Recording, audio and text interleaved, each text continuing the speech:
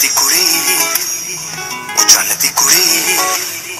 ਉਹ ਚੰਨ ਦੀ ਕੁੜੀ, ਬੱਦਲਾਂ ਦੀ ਭੈਣ ਕਰ ਤੈਨੂੰ ਬਿਜਲੀ ਬਿਜਲੀ ਕਹਿਣ ਜਿਹਦੇ ਉੱਤੇ ਗਿਰਦੀ ਬਚਦਾ ਵੀ ਕੱਖ ਨਹੀਂ ਤਾਰੇ ਵੀ ਡਰ ਕੇ ਨੇ ਉਹ ਸਿੰਡਰੇਲਾ